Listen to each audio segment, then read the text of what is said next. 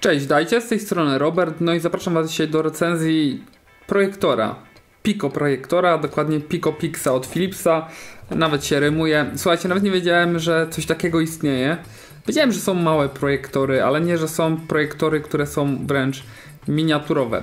Ok, pudełko jak pudełko, mm, posilę się danymi wszystkimi, które mamy z tyłu, bo właściwie najważniejsze elementy mamy wyszczególnione z tyłu. Tu mamy kilka, kilka jakichś grafik. E, no i tak, przejdziemy sobie do najważniejszych rzeczy, plusów, minusów oczywiście.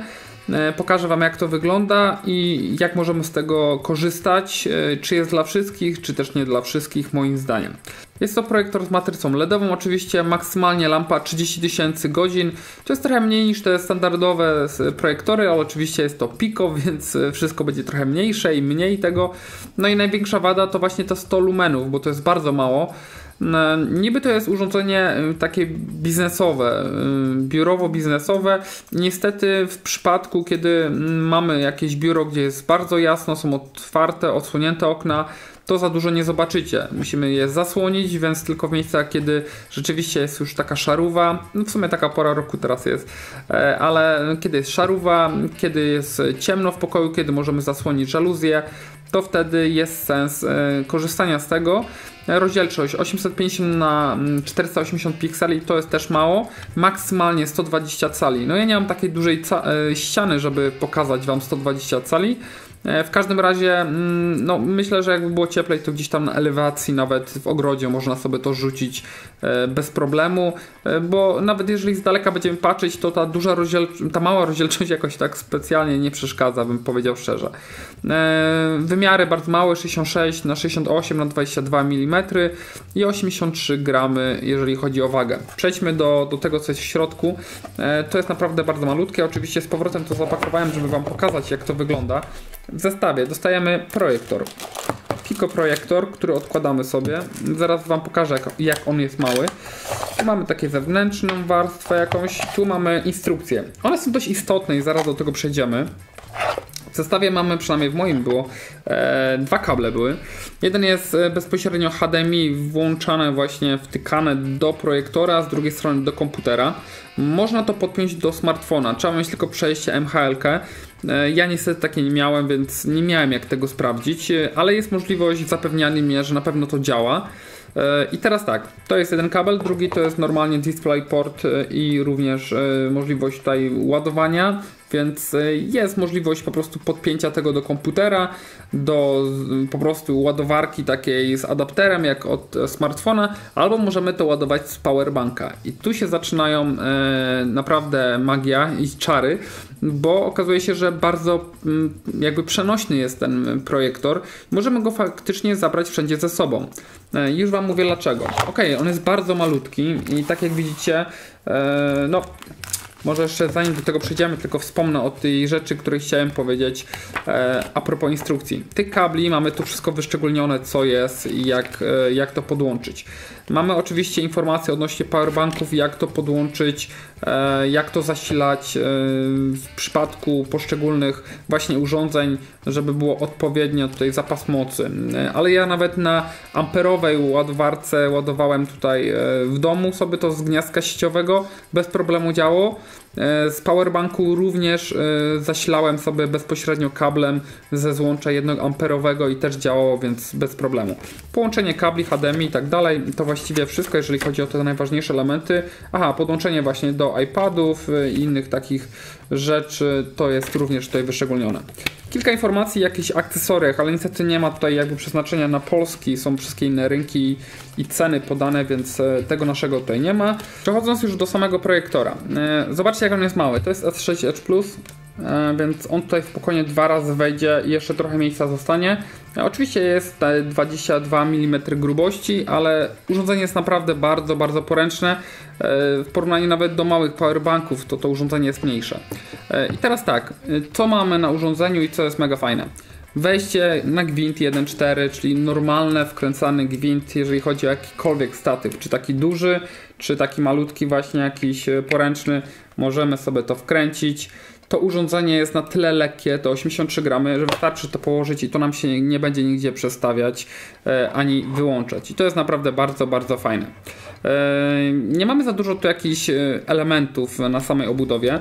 Minusem moim zdaniem jest ta świecąca, to ładnie wygląda, ale świecąca obudowa to nie jest najlepszy pomysł, bo to się strasznie palcuje. E, nie wygląda to estetycznie, jeżeli to ma być takie biurowe podejście czy biznesowe, to mogłoby być to po prostu w macie zrobione i wyglądałoby troszkę lepiej. Z lewej strony mamy jeden przełącznik do trzech pozycji, jeżeli chodzi o jasność wyświetlanych elementów. I wieczorem faktycznie możemy zmniejszyć sobie na minimalną jasność i wtedy jest ok, nie męczy to oczu i wygląda to całkiem fajnie. E, jeżeli jest jakaś szaruwa, no to już musimy maksymalnie e, zwiększyć sobie, to jest to 100 lumenów i wtedy słychać też e, sam projektor. I to jest jego druga największa wada, bo po prostu go słychać, więc jeżeli oglądam jakiś film, to albo włączyć sobie głośniej muzykę, czy tam audio, jeżeli chodzi o jakąś e, projekcję filmową, którą będziemy sobie słuchać.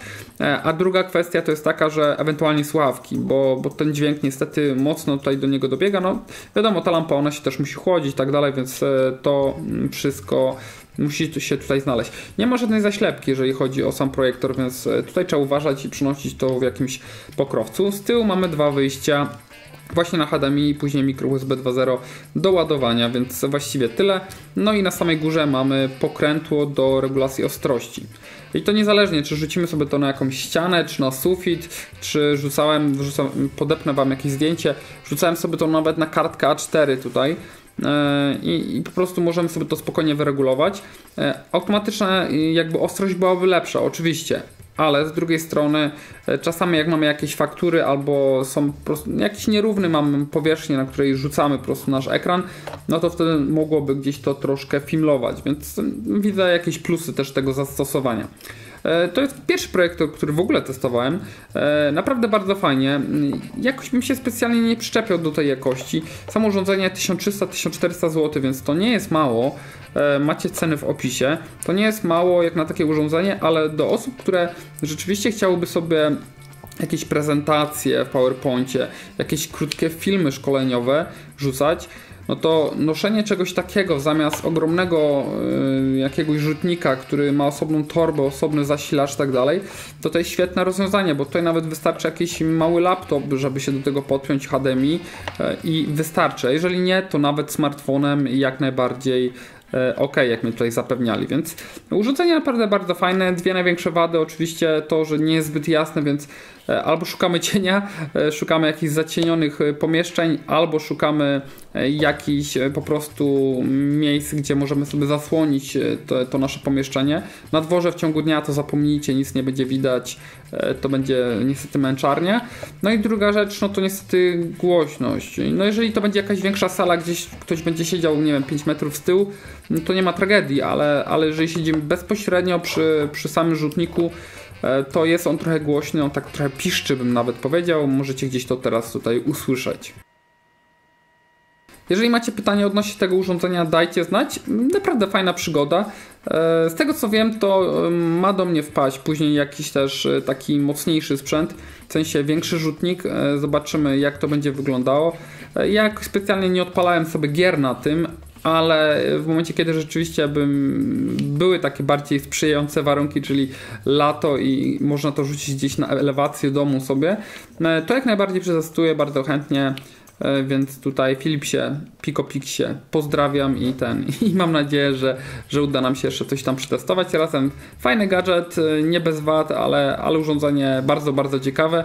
No i coś nowego dla mnie, coś nowego zupełnie dla mnie, czego nawet nie miałem pojęcia, że coś takiego istnieje, więc e, dla osób, które rzeczywiście potrzebują mm, takiego rozwiązania, jak najbardziej. Jeżeli ktoś ma pewność, że w ogóle e, wszystkie swoje projekcje ma w ciemnych salach, e, gdzie są to filmy na ogół, to świetna sprawa, świetna sprawa, poręczne, nie zużywa dużo prądu, nawet jeżeli e, nie mamy dostępu do prądu, możemy z dużego powerbanka po prostu sobie to bezpośrednio podładować, albo z komputera, z którego wyświetlamy też te elementy. Trzymajcie się, no i pozdrawiam. Cześć.